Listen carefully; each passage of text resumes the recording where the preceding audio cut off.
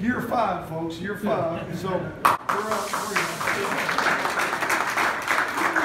A lot of folks in the room that did not think that, Chuck, I see, like, did not think that was going to happen, even though I told you it would. But uh, so we're in Memphis yesterday, great crowd. And we were in uh, we were in Bentonville the day before, and Terry introduced me, and, and he, he just kind of said, "Hey, I didn't I didn't introduce you as the new coach this time." Well, yesterday, just big as Dallas, your new head football coach. so we were always talking about at what point would I not become the new head coach? I just become the well. Apparently, it took five years and, and two and two uh, caravans. So, so uh, hey, it's uh, it's easy to see when things are going well. When you, when you look from the top down, I mean, we've got great people in charge of our programs from, from Chuck through Kelly and, and Terry, and we got great coaches. I, I enjoy this time of year uh, because we get a chance to actually talk and visit with some of the other coaches, and we're so busy at what we're doing most of the year, we, we just kind of see each other in passing. And you get a chance to sit on a plane or, or ride in the car and just visit, and kind of bounce ideas. You just realize real just how fortunate we are to have great people in charge of the other sports. And, I think we all support each other really well, but we do it from afar most of the time. So we get a chance to build relationships. It's pretty cool. I've really enjoyed this. And it's our last stop. We say best for last. This is always a great environment. And uh, hopefully everybody stays upright. I know y'all were here a couple years ago. We had we had a guy go down and scare us all to death. So everybody stay upright. Nobody nobody pass out on me over the next couple minutes. And I'll try to give you some insight as to what we're doing. I brought a couple guys with me that I wanted to introduce to you. They do a great job. One of them y'all probably all know, Dave Roberson right here is the director of player personnel. Been with me the entire time. Uh, we were together at Southern Miss years ago. When I got the job, we brought him in. You know, player personnel, I mean, does a lot of tasks that nobody else really wants to do. He deals with parking tickets and housing and meal plans and, and all of our recruiting weekends. I mean, there's a lot of things that go into it. Uh, he's He's the guy that deals with all these guys that want to come into home games. And I mean, it's just a never ending list of things, but uh, his job is extremely valuable. I give him a hard time a lot. I mean, he knows if I'm having a good day, if I'm picking on him, but I'm telling you the truth. Nobody does the job better than he does, and we're proud to have him. Uh, I also want to, probably one of our newest members to our staff, Scotty, if you would step forward. Scotty Conley is the Director of Football Operations, but honestly, his title is really General Manager. Uh, Scotty and I were together at Trinity Valley and Howard Payne early in our career, I would, I would urge you to go on our website at some point and just look at Scotty's profile and where he's been. Uh, the experience level he brings to our staff is unbelievable. He's coached at, uh, at some of the best places on the planet, college football, and so he's brought, you know, he does all the, the football operations things that you normally, all the logistics, all the things that you normally would do, but just the expertise that he brings to the table has been phenomenal. You talk to to Dave, just, just the conversations that you can have. We're not going to hold it against him that he spent a short period of time on the west side of the state. Y'all just skip past that spot in his career, just skip that spot, move on to the next one. But uh, again, just tremendous uh, asset that he brings to the table. And, uh, and we've had a lot of changes off the field, to be honest with you. This guy's been one of the best ones.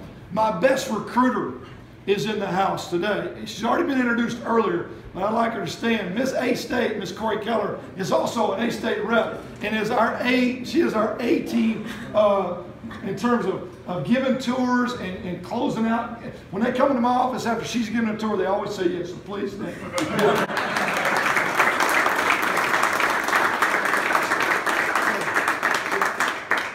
I just when they get to my office, all I want to hear is, yes, I'm in. That's all I want to hear and I prepare. And she gives a tour, we're batting a thousand, so we're doing good.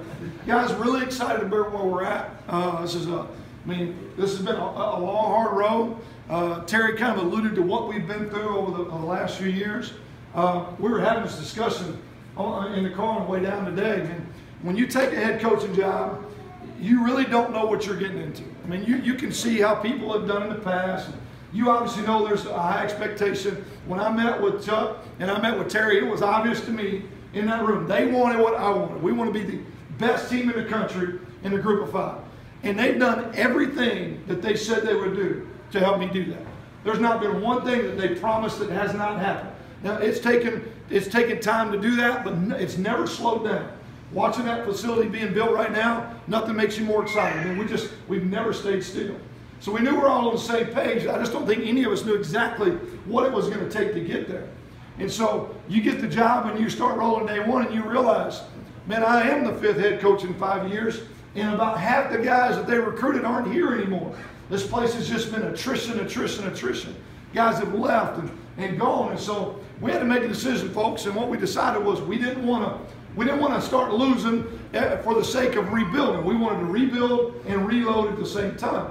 And I just want to tell you guys thank you because y'all have not given up on us over the course of the last few years. There's been ups and downs, but we've, we've won two titles and tried to rebuild at the same time. And so what you saw last year was 42 new guys thrown into a football team. Probably physically our most talented football team, but also our least experienced team. And so at times you saw a really, really good football team, and at times you saw a really, really bad football team. And we were pulling our hair out. I mean, it was it was whatever we could do to get all these new bodies all moving in the same direction. Well, you know, that process has helped us because I think we got our best football team going forward this fall. Every one of you asks, how are we going to be? How guys going to be really good? The expectation is to be the best team in our league. The expectation is to be the best in the country at our level. That is what we expect. And I think the lumps we took a year ago and the way we built our team over the last couple years has prepared us to really go out and field the best football team that we've had. And that's why I get excited. I think we had a phenomenal spring. Uh, and, and I kind of judge it this way. Number one, we hit each other a lot. I mean, we hit more this spring than we have in any previous spring. We put toe to toe, helmet on, strap it up. We're going to tackle to the ground. A lot of people don't do that at all. We did it six times out of 15 practices. Here's the great thing we got good work done and we got out of it healthy. Nobody needed surgery, didn't get anybody hurt. Everybody's going to be healthy and ready to go when fall camp starts, and that's big. You read all over the country lost starting wideout to surgery, lost starting linebacker. We didn't have any of those headlines. We don't want those headlines. And so we were able to, to get good, solid work, but stay healthy. And guys, we got better. We got better in the course of that time. We still got competition going on at several spots, which is what we needed. Two, three years ago, we had no competition. We had one guy, that guy was going to play. Now we got battles going on at right guard and left guard, at right tackle, at all the wideout spots, at corner. We got guys that have to fight to keep their job because we've stayed for five years and we've, keep, we've keep, uh, kept putting good recruiting class on top of good recruiting class on top of good recruiting class. That's the process. That's how it works. And so we're going to see the benefits of that going into this season. Um, and we got a schedule uh, it's going to be exciting. We get to open up at home. I don't know, you know the statistics. That doesn't happen a lot. But not only are we opening up at home, but we're going to be opening up in front of a brand new bowled in, waterfalls, slip and slides, all kind of stuff. uh, catfish, catfish, yeah. catfish. Yeah. Costa Rica. There you go, whatever. We might be bobbing for apples down there in the corner. I don't know. I mean, just think about the excitement. You know, I've been at programs that hadn't renovated or changed a thing. Not a brick has changed for, for 10 and 15 years. And I've been there for five, and we haven't stopped building. And we just continue to uh, truly build a place that you can be proud of. So, I mean, that, that SEMO game, we expect all you guys to load up, bring people with you, and really enjoy breaking ground and showing what we are capable of. Uh, and it'll continue. We'll be hopefully be in that new facility next spring. We'll be moving in ourselves, and it'll be huge. A lot of you guys have already bought lockers. Uh, we, we, got, you know, we got locations in there that got naming rights. People have stepped up. It, has been, it's been a lot of fun. And we traveled to Alabama week two. Uh, you know, hey, if we're going to pick on one, let's pick on the best. And uh, let's see what we can get done. And then we've got two group of five teams two weeks in a row that I think are really big for us. Obviously, playing across group of five lines against good programs with Tulsa not being that bad, big of a trip, that's one a lot of people can make. And then UNLV coming to us gives us a chance to start off with a ton of momentum. And we've struggled there in the past. I think a lot of it is because we've been so inexperienced, so many new pieces early in the year. These guys have not been ready for those kind of games. This is the season we get we get over the hump. And I think what we've done to get to this point allows us to have that chance. Conference play is going to be good from top to bottom. Y'all know that. And uh, we're going to hopefully have you know record crowds to go along with the record season. That's that's the standard. So, um, you know, some, some guys that you're going to see that uh, that you've not seen. I think you'll be excited offensively. Armond Weh-Weh got a six-year of eligibility. And if y'all remember, he went through an ACL and he went through an ankle sprain. He missed two years of ball. And he had maybe the best spring of anybody on our offense.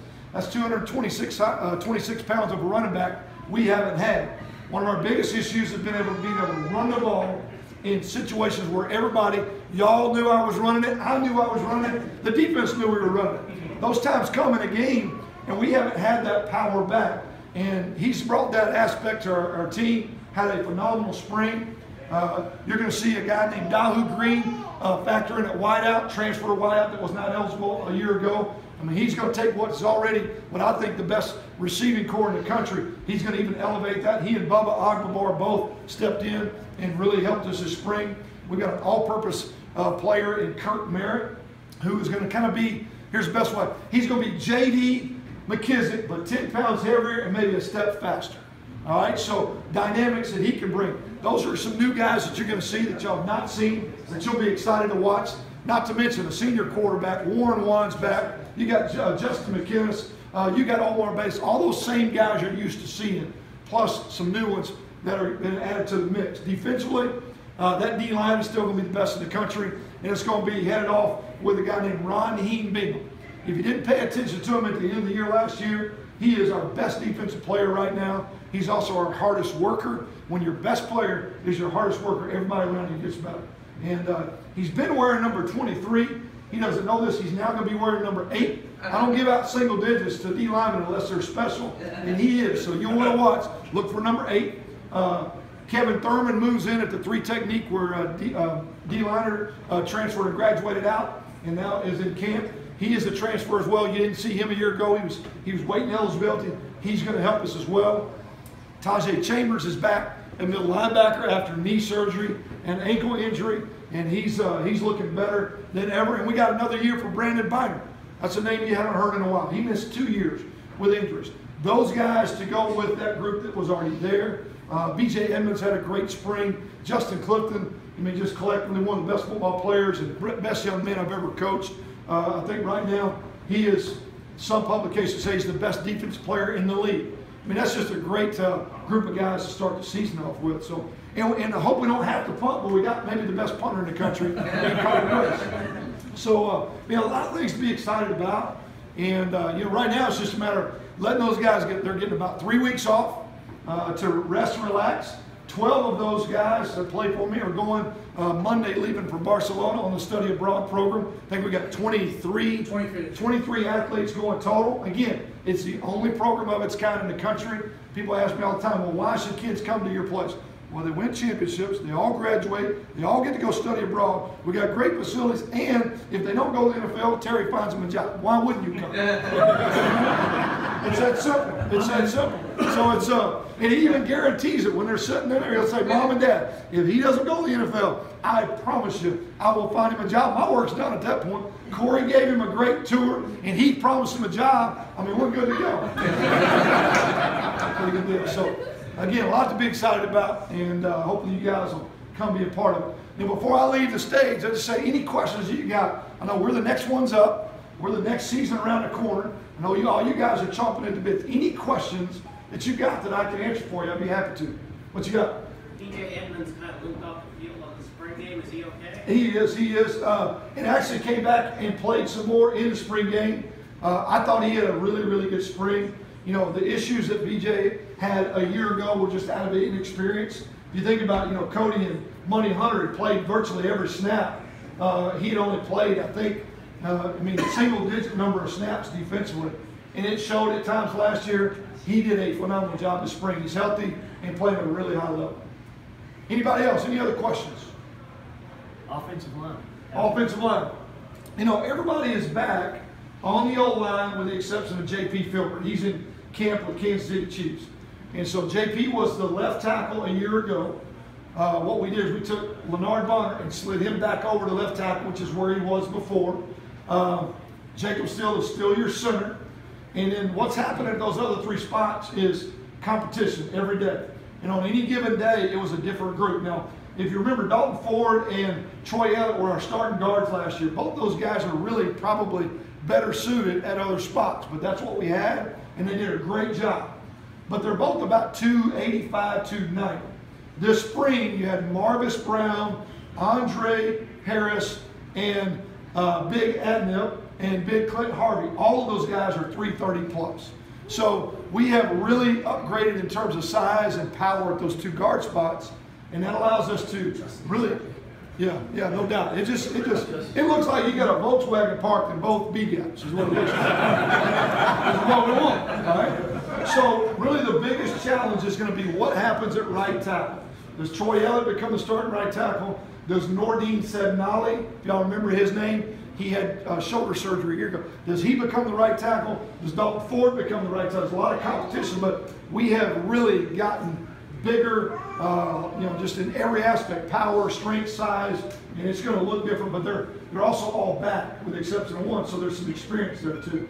I'm, I'm expecting that team, you know, that group to really be upgraded from a year ago. Good question. What else you got? You got some good trick plays up your sleeve this year? I do. I do. Uh, I do. You uh, you have to be there in person to see we have a deal with the new ESPN. They're gonna. They're, all trick plays are gonna be deleted from the footage. You have to show up in person to see it. Uh, and if you donate enough money, I'll let you call one. of us.